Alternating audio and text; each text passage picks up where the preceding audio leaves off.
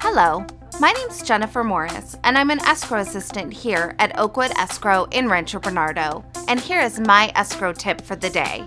During the refinance process, if the lender is requiring the borrower to pay off credit card debt and or a car loan, please supply us with the following. A copy of the current statement, which will include the credit card account number, the current balance, and the payment address.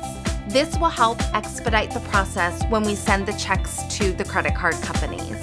For all your other escrow concerns or needs, please feel free to contact me at area code 858 240 4218, or you can email me at jmorris at oakwoodescrow.com.